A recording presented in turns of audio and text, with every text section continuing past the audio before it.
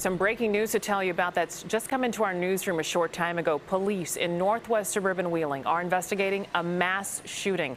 Police telling us five people were shot. This happened around 5 o'clock this morning. Now, they say it started with an argument at a bar in Prospect Heights, and then one group returned to a house in Wheeling. Suspects later fired at that house from outside. We're told all the victims are between the ages of 28 and 30. Police say their wounds vary in severity.